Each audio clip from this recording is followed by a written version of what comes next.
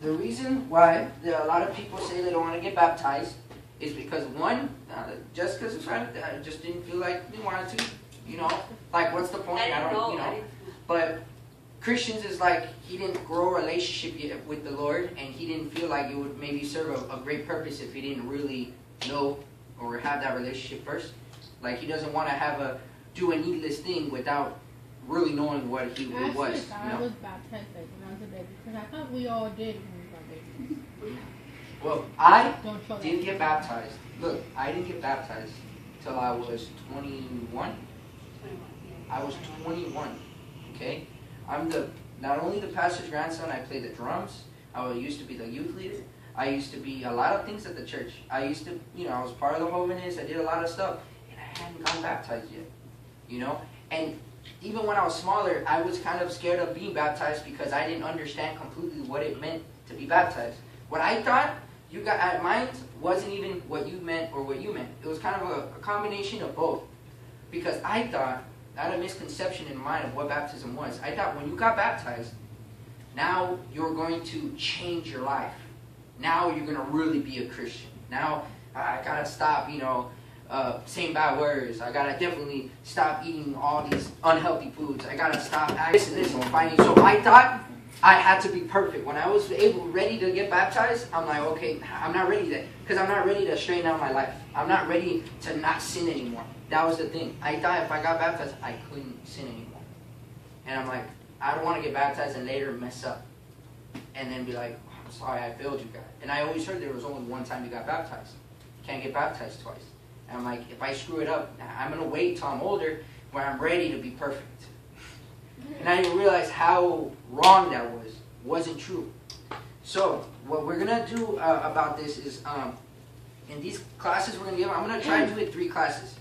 From the looks of it, I think I'm only gonna need two, but I'm gonna try to stretch it to three, so that you guys really know what baptism is. Okay? Now, with these classes, you're gonna get the knowledge, the understanding, and with the understanding, it's gonna make you come with a decision if whether or not you're gonna be, get baptized or you want to get baptized. Okay? So, the things that I'm gonna cover is things that are gonna answer these kind of questions. Who is baptism for? What it is? When are you ready for it? Where is it done? Why is it done? How do you prepare for it? So all the why, what, where, who, when, all those questions are going to be answered through this. Okay? Now, the very first thing that I'm gonna um, go through is, oh, what? What does the word baptism mean? Anybody know, or have a brainstorm idea what it means? What does the word baptism mean? I've never heard it used in any other place. It's not like a word where you can use in a different way. Baptism is just the one word. Nobody knows what baptism is. Oh, the, uh, what one I said, uh, like uh, be born again, right? Yeah, you could you could say that, yeah. But the actual word, he he said be dunked in water. You're close. You're really close. That's actually what it means. That's actually exactly what it means. Yeah. Okay. The word. A lot of people. uh, Well, get away. Look, baptism. If you you get the word, it's actually from a Greek word that means baptizo. Okay. That word means immersed. Okay. What is is immersed? What is, uh, I'm not gonna do it. But is immersed. Let's say I get some water and go like that. Let's sprinkle some water on you. Is that immersing him in water? What about like if I take a hose and just spray him? Is, is that is that is that immersing him in water? No. Now, if I tank him and dunk him in a pool, would that be immersing? Yes. Yeah, right? Because immerse means like entirely submerging him, being underwater completely from head to toe. That's immersing. So, right off the bat, we know that when somebody, let's say this, uh, I'm going to tell you straight up, like when they baptize babies and stuff, they don't dunk a baby in the water. They're just, just like, They no way. They, they just sprinkle it. Now, that's not what the Bible teaches. The Bible doesn't teach that that's baptism. Okay? we're gonna we're gonna see more as I go. You know, what about the baby? So there's just a little side note. Okay? Now, um, the uh, next thing I'm gonna say, what does baptism symbolize? What does it actually depict? Like if it's a stamp, if somebody takes a picture of somebody being dunked in the water, what does it mean? Like when you see somebody. Washing away your sins. Washing away your sins. That's awesome. But anybody else have input on it? What does it symbolize? There's a lot of things. It symbolizes that, let's say I see a picture of Jose and he's being baptized. What does that tell me? That tells me that I know Jose knows that he needed forgiveness, that he his his life is full of mess ups, full of screw ups, full of wrongdoings. You know, because you're a horrible person. Not, it's not. But you know, you know, you, you recognize that you've messed up a lot. You know, and and when I see a picture of you being baptized, you it's like telling me that Jose knows that he's not perfect and that he needs forgiveness. Okay? It also means you decided to let go and let God, and you decided to accept Jesus in your heart. That's another thing it tells you. Another thing it tells you is that it's Jose's decision to let the way he used to live in his sin and doing all the things that messed up, you know, his life, the things that are wrong. He decided to have that part of himself die and that when he would come out of the water that he it symbolizes him leaving his dirt behind in the water and continuing brand new again that's what it symbolizes too. It's our decision to let god cleanse us with his forgiveness through his blood that he shed on the cross okay? It also uh, is our decision to resurrect ourselves. This is a big one. It's an outward symbol of what's happening inside. So when you see somebody being baptized, is it just him or her and the pastor and no one else is watching? When usually you have people baptizing, are just people that are going to be baptized there? No. In some cases, maybe there's a lot of people there getting baptized, but most of the time, family, friends, you know, family members, church members, all there to support the people that are being baptized. Because, so what you're doing is it's a public kind of announcement. You're showing everybody, hey, what I'm doing here, what you're seeing, means something outside of my body that's showing you what's happening inside. It's my decision inside that now something has changed in me, in my heart. And that's what it symbolizes. When they see you doing that, it's because they see that, oh, that guy is undergoing this change and he has accepted the Lord Jesus Christ in his heart. He's accepted that and it's or she's accepted that and it's changing. That's that it's a symbol, an outward symbol to people of letting them know what's happening inside your life. That you're you're ready to just be done with, with your old self and be renewed. Okay? Now, it, and it, the last thing it, it shows our obedience. I'm gonna um, explain how it shows our obedience. When God wants us to get baptized, it shows us shows Him that we're obeying Him, and I'm gonna show you what that means. Now, this is where we're gonna get into our. Everybody, open the Bible to Matthew three. Everybody, open up Matthew three. You know, let's look for Matthew three. Ma- Matthew, Mateo tres. Okay. Uh, which, which page? When somebody has the page, please say the. Matthew, 538. 538, 538. 538. I said it first. All right, look. While you guys are looking that up, this is the question it's answering, okay? Where in the Bible does it first mention Matthew chapter 3? Where is the word or the use of baptism first mentioned in the whole Bible? It's in the New Testament, Matthew chapter 3. Okay? Let's read it, okay? So, Matthew chapter 3, said 538. Matthew 530. Damn, that does really help. Alright.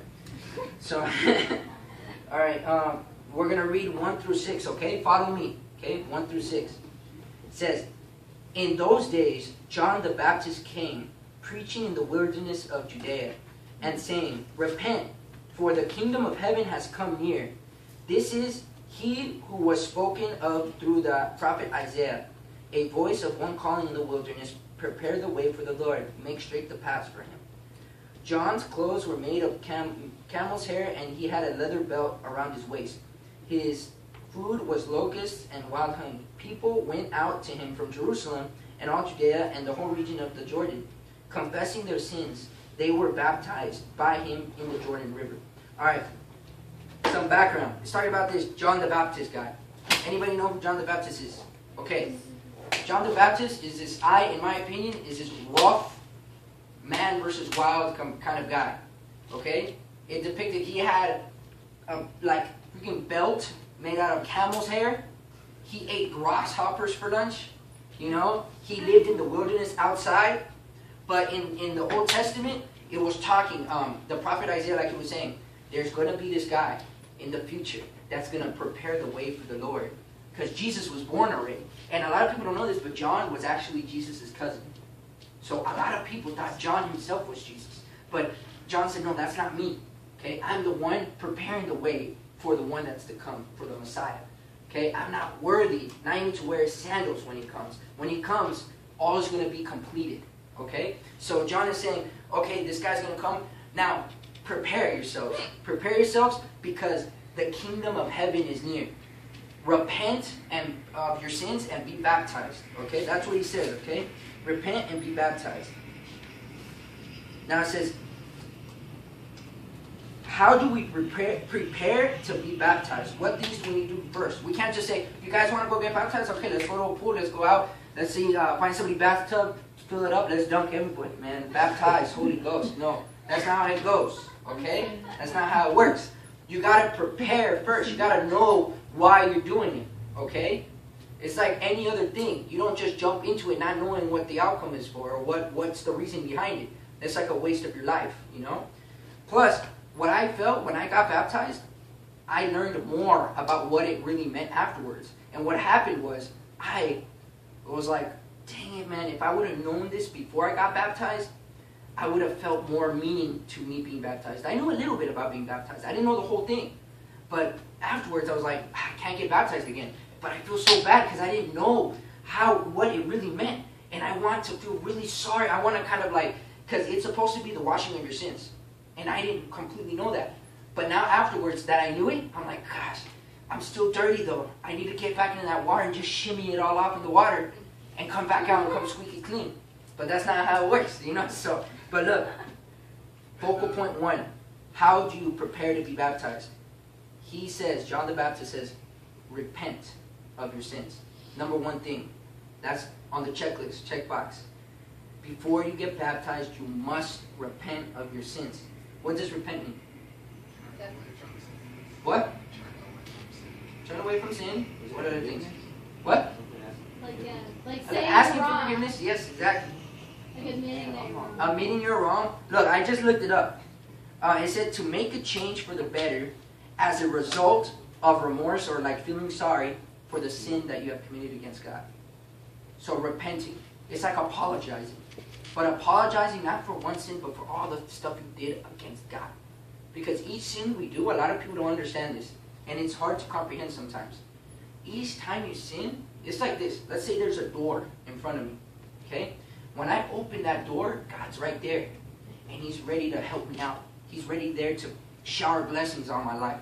He's there to save me. He's there to protect me and give me what I need. But the moment I sin and keep sinning purposely, I'm shutting the door. I'm shutting the door. God isn't shutting the door. I'm putting that door, that door represents a wall of sin. And I'm saying, I could do without you right now. And I'm blocking him from entering my life. And then a lot of people say, how come God lets bad things happen to good people? And they blame God for it. But you know what? It's not God's fault at all. It's a misconception. It's because of the way we live. We're putting a wall up and shutting a door where God can't touch our lives. That's when God can't answer prayers. That's when God can't heal you because you're not allowing him to heal you. It's not that he can't heal you. He just is not. It's like he's probably going to shower you your way, making maybe he's trying to reach you and grab you and heal you, but he can't touch you if you're like running away from his hand and you're like blocking him, knowing like dodging him or whatever. Sometimes he's putting so many things your way that it makes it so obvious that he's trying to touch your life. He's putting people in your path.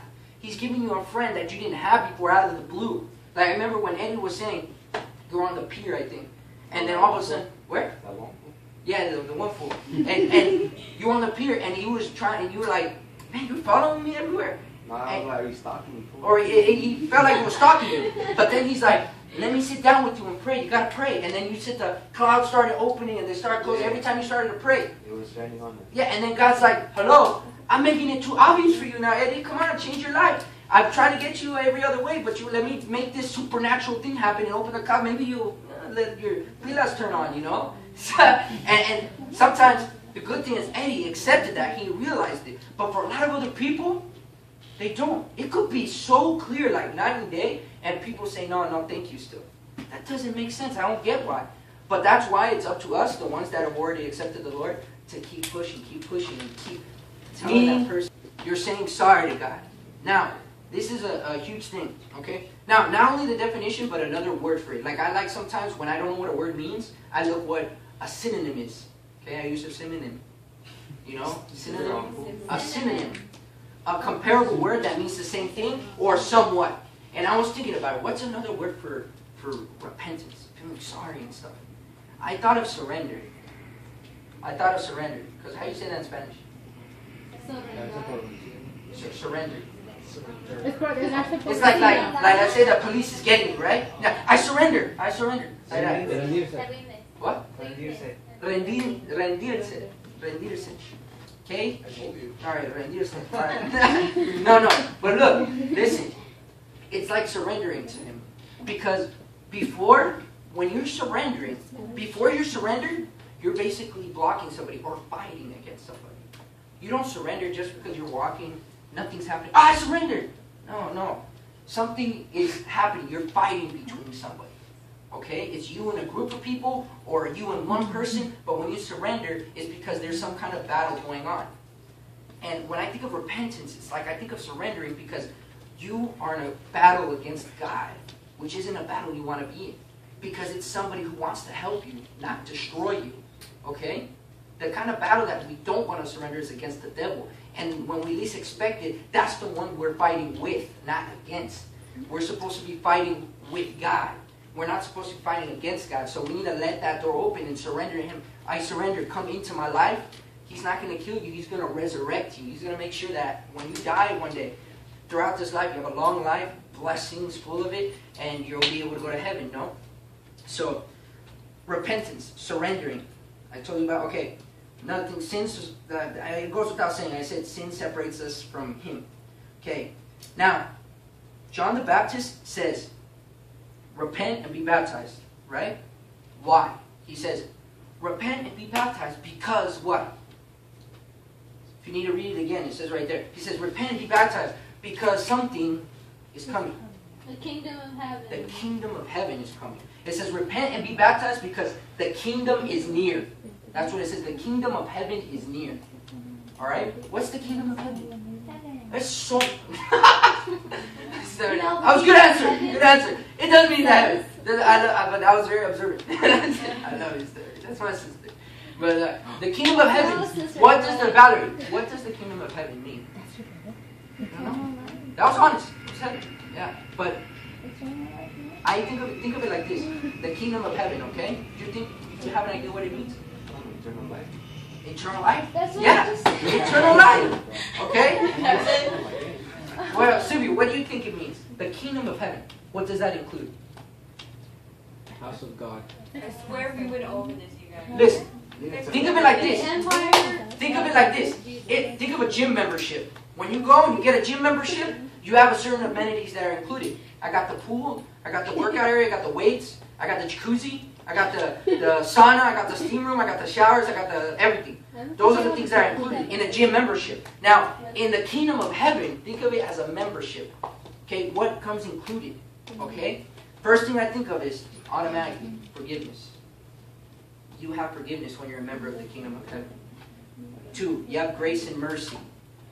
Because you screwed up and did a whole bunch of things against God, God has all the right in the world to come back at you and give you twice or more of what you deserve and judge you and condemn you. But He doesn't because you're the member of the kingdom of heaven.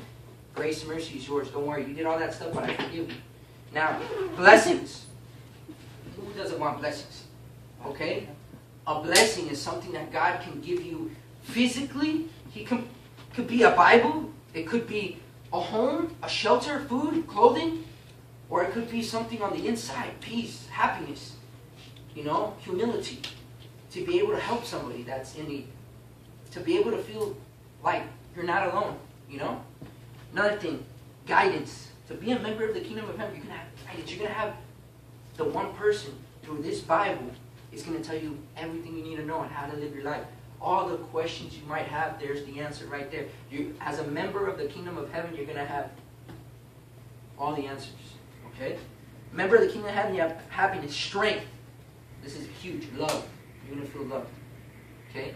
Because despite people, maybe if your parents die and like you have no family, okay, you're still going to have God. Always. He's not physically here, but he's more here than someone who's physically here because he's the one that made you. Okay? Not only that, I, I love this one. And you know what? I'm going to keep going at the end. I'm going to tell you to feel included. When you're a, mem- a member of somewhere, you're a member of the kingdom of heaven, or a member of a gym, or a member of a school, you're included in a group. So you have that acceptance that you're included in something. Okay? So you have that, that, that sense of including, uh, being included. Encouragement. You have that endless amount of encouragement, you know, with God and to do right because God even, He's, you don't want to bargain with God, you don't want to make a deal with God, but in a way, you kind of do. Because God says, you live this way, and I'll give you this way of life. You honor your mother and father, you know what? I'm going to make a deal with you. I'll give you a long life here, a good long life. I'll make you prosper. I'll make you happy. Just live this way, and I'll give you this. You know, it's the good kind of deals you want to make. Now, motivation. In, inside of us, we all have this. I like to think of it as, you know, the, I don't know why I want to say wet guy, but what is that called? Thing called like a candle, and you have the like the little string in the middle. The, The string. The, just the string. You guys know what I'm talking about, right? The wick. The wick. That wick. There. Wick. Wick. So everybody has a, a wick in them. Think of it in your heart. You have this little thing that needs to be turned on. Without that turned on, you're empty. There's something missing in you. And everybody has that emptiness inside of them before they meet God. But when you truly meet God and you give your life to Him, all of a sudden something comes into your heart, match on, you're lit up forever. It's there. No matter what you go through, that's going to forever be lit. Now, what happens in our life, though, that the flame could be suppressed, but it will never stop being on. You're, it's permanently turned on. Okay, and I'm going to go over what that flame is more once we keep going. Now, what it also means to be a member of the kingdom of heaven is that we were once blind, but now because we have that fire lit in us, now we can see. We can see what it really, what we were really missing when we were in the dark. Okay? And more. Okay? Now, how now we know what it means to be a member for the most part. Member, so the member of the kingdom of heaven. When he says repent because the kingdom of heaven is coming, it's like Gold's Gym is coming to town. You know, get sign up, be a member. Just like like God, you know, hey, Jesus is coming. He is the kingdom of heaven. He's the way to sign up to get the keys to go into heaven. Even the Bible says that I am the key to heaven. No one is to go to the Father who's up in heaven if not through me. So you got to sign up with Him. To sign up, you got to repent. Okay, you repent, you get that membership into heaven. Now, how, how but how do you really become a member? Okay, just like he was saying, you plus something equals kingdom of heaven. You're a member. Let me see if you guys are paying attention now. You plus what equals heaven? Jesus. Repentance. Repentance. Now, without repentance, membership cannot be given. Now, this is a huge question. Haiti actually asked me this. We know, we know this that we need to listen. Listen. We know that we need to repent. We gotta say, "Hey, God, please forgive me for all my sins." And this, you know, when I was little, I would fit that into all my prayers. God, please forgive me for all my sins, all the sins I did yesterday, all the sins I'm doing today, the ones I'm going to do. Please forgive me for all my sins. There, I just every day, every day, I'm like, covered. covered. Covered. covered. I'm good to go. You know, and then and then somebody tells me. I think Haiti told me, but she knew. She kind of thought she knew the answer, but it was a rhetorical question. It's like, how come when we first repent to God and we accept Him in our life because He's forgiven us, you know, and why can't we just make a prayer that's like, like, uh, like the one I told you, forgive me for all the sins I've committed, all the sins I'm committing right now, and all the sins that are to come. Because God, you're the same yesterday, today, tomorrow, forever. I could just make one prayer, and you're that powerful. You forgive me forever. Then forget. I don't have to pray no more. I'm good for life. I'm going to heaven. You know. Let me go and you know sin a whole bunch. I'm already forgiven. I prayed way back when. No, no, that's not what it says. Okay, that's a misconception. People don't know that Billy's like, no, no. He's like, oh man, I didn't know I could do that. No, listen, in the in the in the Bible it says that we must live a life of repentance. Now, does that mean though every day? It, it means live a life of repentance daily, every day. Does that mean say I'm sorry every single day? It says say I'm sorry every single day. That's what I have to do. That's what it means. Oh no, you have to not do it. I don't really do it, not not do it, but the, the, the, the general thing is your actions speak louder than words. The way you live is how you're going to show you're living a life of repentance. How many of you guys have brothers or sisters? How many of you ever fought with your brother and sister? All the time. And what do your parents say when you go up to your parent and you say, I'm sorry? What has your parent told you back? Like, okay, I forgive you. But remember, sorry means you don't do it again. Your actions are going to tell me you were really sorry. If you do it again, you weren't really sorry. You weren't really sorry. You just wanted to say it so that I don't punish you. So I don't, you know, keep going back at you and saying, oh, you know what, because you do whatever. No, but you say sorry, it's done. You know? It's your, that's how. La chan- oh, la chan- no, no, but look, but, but look, listen, okay? Saying you're sorry doesn't cut it every day. Living a life of repentance is a, living a life every day, not trying not to do those things that one, you did once you were like a purposeful sinner every day, you know? Try to minimize it. I mean, wait, listen, listen. Doesn't mean this is where I got it mixed up. Doesn't mean you're perfect. You don't do any sins. And then the thing is, once you do one sin, then you're like, oh. And then and you're like, you start the whole other day. I'm just gonna, I screwed up today. I'm gonna just keep sinning it up today. Tomorrow I'll start fresh, 24 hours. You know, that's not what it means. That's not what it means. Okay, you remember that all the kingdom of heaven, love, to feel included, encouragement, and motivation. That's what it means to be a member of the of, of church, of to be a member of the kingdom of heaven. Love, to feel included, motivate, encouragement, stuff like that. And that's sometimes the last things that we are doing, especially in the holiness. Okay? A lot of times, we don't motivate each other. When we're talking amongst ourselves, when class is going, when a message is being given, or when we're downstairs and we're outside while a message is being given, we're, we're on our phones. You're not motivating anybody. You're not encouraging anybody. If, not, if anything, you're influencing them to do the opposite. You're here, but you're not here. Okay? You don't want to do that. We need to love one another. We need to stop talking about one another. We stop dividing everybody. You know? We need to motivate each other. We gotta keep that flame illuminated in everybody. Imagine somebody's talking like this, and we're all talking like this, like I'm talking to you guys every day with every Hovening. When a Hovening comes in, and I want to see them, hey, how you doing, man? Give them a handshake. Give them a hug. Hey, what's your name? You know, don't just say, oh, hi, just some deal. That's good, but come on. Don't. How did you, hey, How did you feel? Stand up. Stand up really quick. Stand up. Come over. here. Come over. here. First, this is funny, but I was like, what's up, Eddie, man? So I go to see. How you doing, man? Like something like that, right? The first thing Eddie ever did. The first thing ever Eddie ever did. He goes, I'm like, hey, what's up? What's up? I go like that.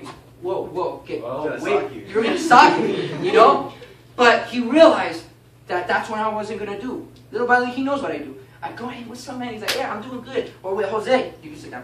How you doing? I'm feeling awesome. That's what you always say. Oh, man, that's good. You know? But that connection, we feel good with one another do that.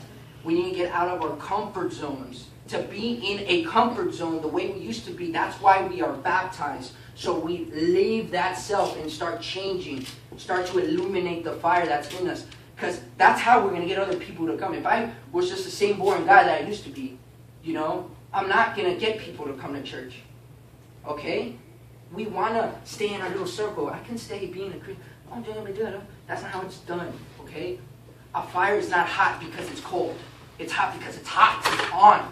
That's what we need to be. Okay? Do you guys? Mire,